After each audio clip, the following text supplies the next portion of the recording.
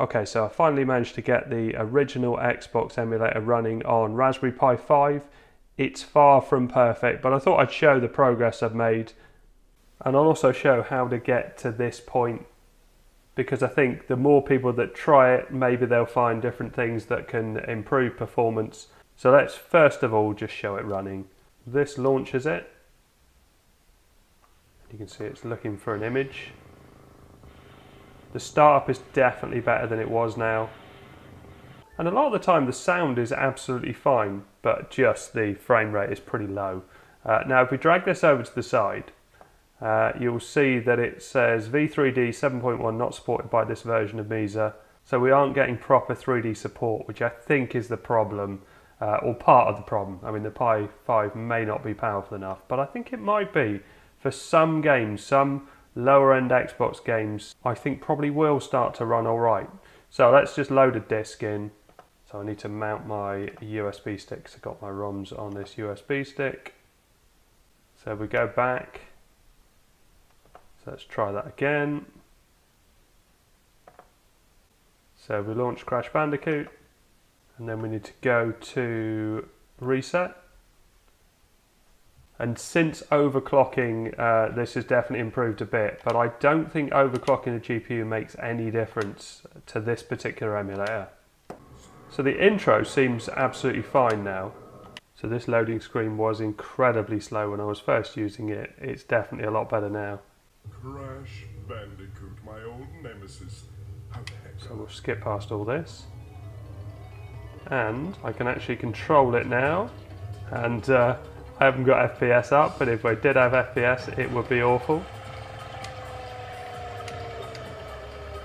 What are you looking at? I haven't tried this level yet. I'm Rocco. Do you And as an emulator, you don't get a lot of control. There's not a lot of uh, things you can turn off or or sort of turn down effects or anything like that. I am running it at 640 by 480, which is the lowest resolution it will go to.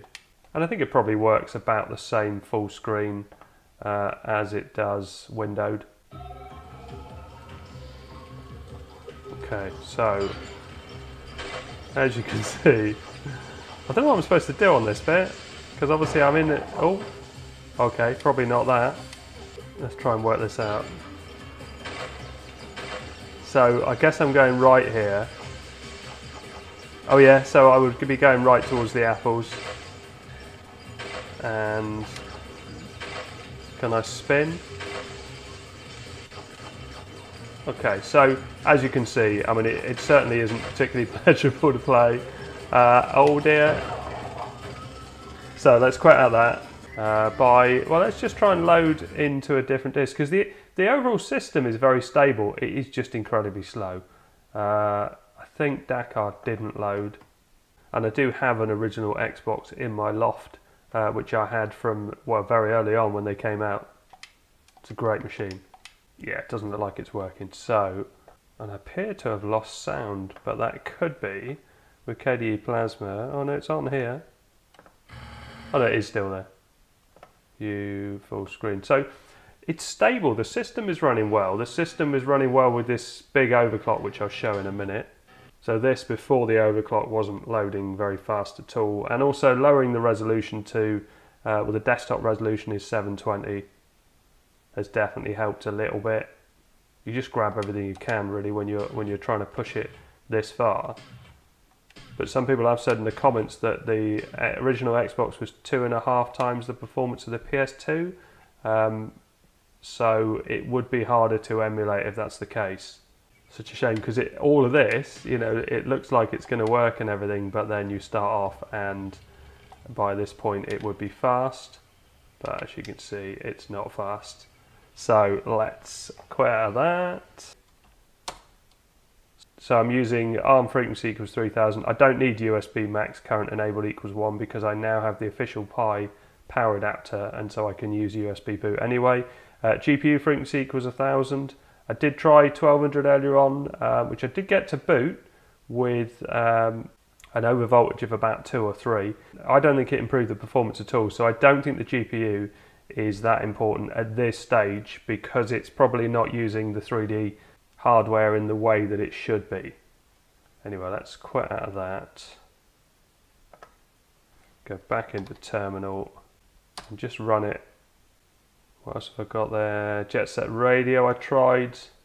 And I was hoping I might get a game for a previous system. Um, so uh, I've got GTA San Andreas to run on PS3 on my MacBook, and it was really because it was a PS2 port.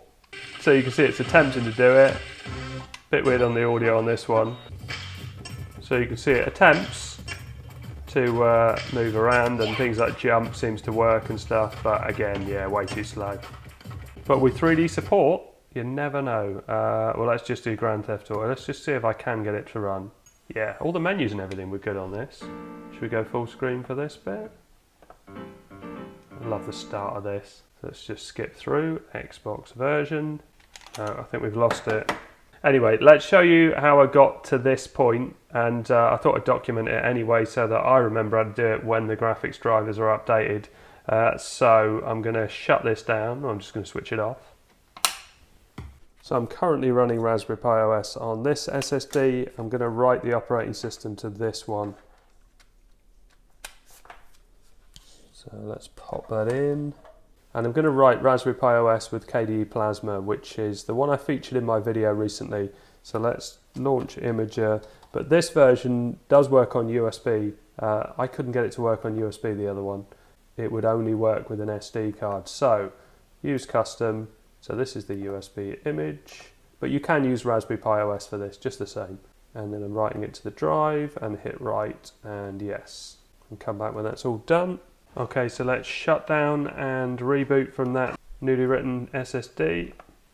And I've got various different things on my USB stick that I'm going to need. Uh, so in here, if I go to my Xbox folder, there's three Xbox files here. These are very crucial and I'll show them a bit later on. First of all, we need to copy this text document and pop it in. Uh, let's go into my documents folder and let's open that up. First of all, sudo install Flatpak. And we'll open up a terminal and paste that in. And yes. And while it's doing that, let's copy the next bit. Let's make this a bit bigger so we can get the whole line.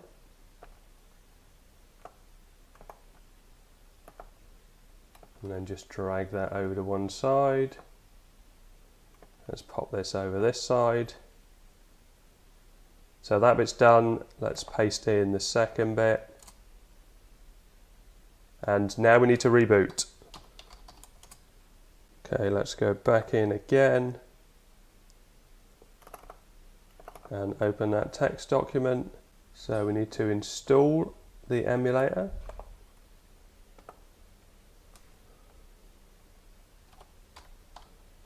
Back into the terminal and paste that in. And this bit takes a while. Okay, so that's all done. So let's copy this to launch the emulator, although it's not going to work at the moment, but you do need to run it at least once. So paste that in and hit return. And you can see it opens up, but it needs the configuration to happen. Uh, now we can go into folders so let's go into the file manager. And I need to go to my 128 gig stick where I've got three Xbox files. And I'm going to copy those and I'm going to put them in a particular location. And what we need to do is go view and show hidden files. And then that and then that reveals a .var folder which wasn't there before and keep clicking on it until you get to data and xemu and xemu and then we'll paste it in here. And the reason it wasn't working before is because this was installed with Flatpak, uh, it didn't have full access to certain files. It puts certain things in a sandbox and you can't have full access to them. So if you put it within the apps folder, it has got access to it. You don't need to do this with the ROMs. You just need to do this with the hard disk image, the BIOS, and one other file. So let's go back into that emulator and go to settings. And you can see here, these are the bits that I need to select, not the EEPROM because that's already done uh, by the system. So MCPX. So then we need to go home. And again, we need to right click here and show hidden files.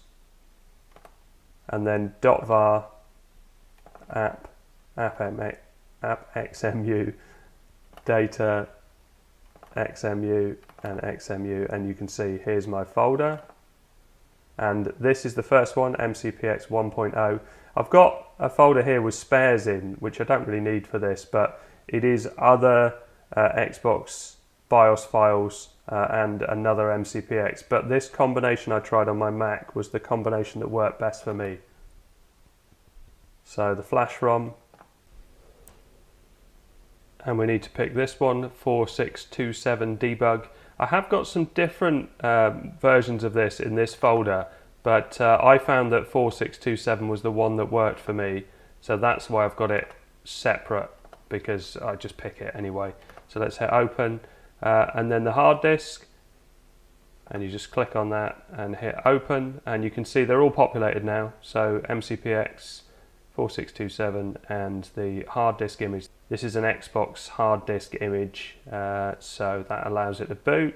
So now we can quit out of that and uh, if we press exit, we need to mount my USB stick. You might not need to do this in Raspberry Pi Imager, but you can see here my 128 gig because I've restarted needs mounting. So now that's back, I can close that. Uh, let's launch the emulator again and you can see that it's starting up with the Xbox menu.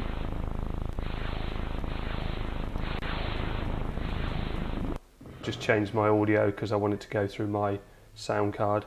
If you go to machine and load disk, you can pick whichever disk you want. And these are running from the USB stick. They work absolutely fine from the USB stick. I'm going to continue with Crash Bandicoot uh, just to show it running. But also one thing I would do is to lower the display resolution. So let's go into configure display and we want to change that to as low as we can really. I mean 720 is pretty practical. You can go down to 640 by 480, you might get a little bit more. And you can see now that it should be working absolutely fine. I've got my Xbox 360 controller which is already configured. I haven't had to do anything at all to that. And let's see how it works without me having to change to anything else. And I'll try this again when we get some more updated 3D graphics drivers on the Raspberry Pi. Okay, so I hope this helps. Thanks very much for watching. Please like and subscribe. Oh, by the way, I'm not overclocked on this, but I was in my previous Xbox video.